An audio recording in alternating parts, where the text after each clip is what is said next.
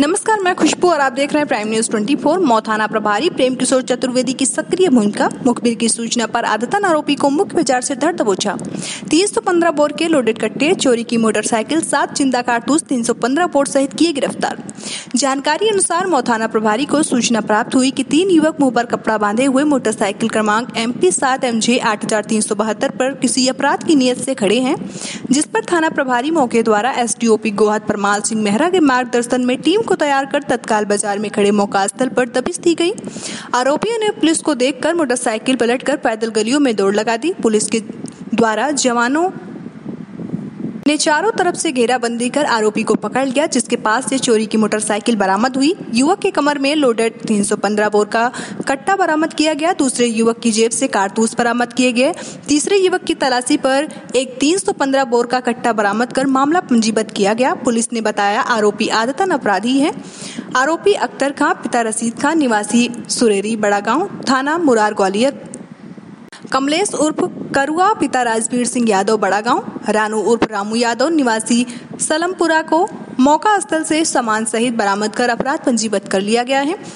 इनकी रही सराहनीय भूमिका।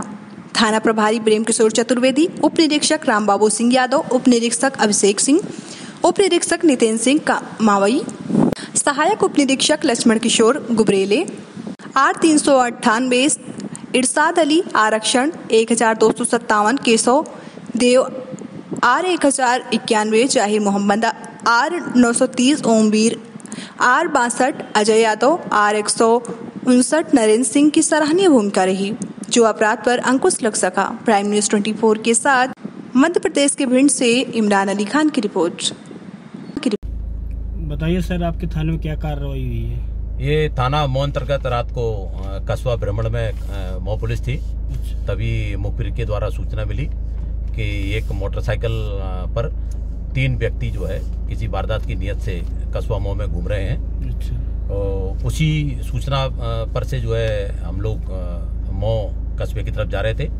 तभी अस्पताल के सामने मुखबिर के बताए नंबर की गाड़ी मिली जिसको हम लोगों ने घेर के पकड़ा।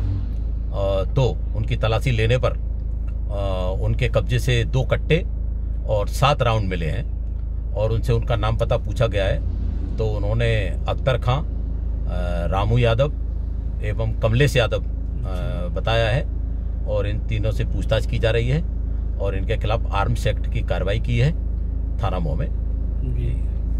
Okay, sir.